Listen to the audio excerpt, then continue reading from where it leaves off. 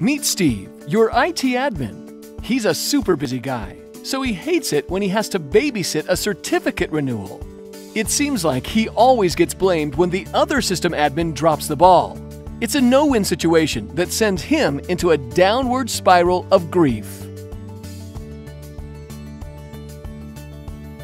Stage 1 Denial. There it is, burning a hole in his inbox the dreaded certificate expiration notice. But not his problem, right? He can just delete the thing. The app owner will definitely take care of it this time. They promised to after the last fiasco. So he takes a deep breath and hits delete. Stage 2 Anger. So, why is Steve getting a second notice a month later? What is this app owner doing? Steve is not going to take the fall again. You mean no one on that team has stepped up to take care of this? So Steve emails everyone on the app team to find out who the new owner is. No one responds. Here we go again. Stage 3 Bargaining. When the third notice hits, Steve realizes he better find that certificate or nothing will get done. Someone has to know where it is, but no one will answer.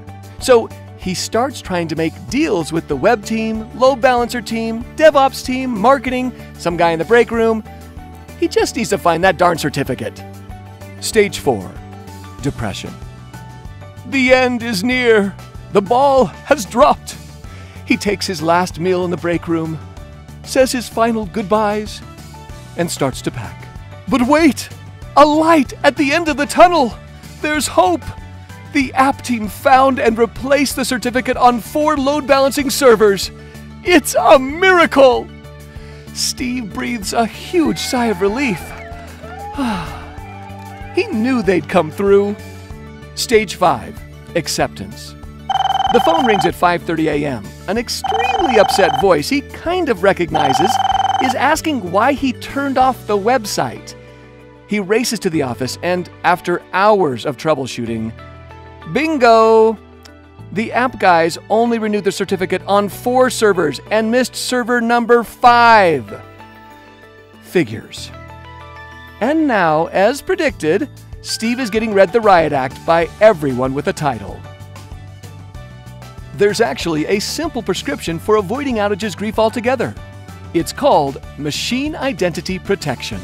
Brought to you by the specialists at Venafi, Machine Identity Protection automates the entire certificate management process, which means Steve can reduce certificate related outages to zero and completely sidestep all five stages of outages grief. Want to learn more? Visit venafi.com forward slash outages. Side effects include smiling, less blame, more thank yous, better productivity, longer lunches, more time to play with your action.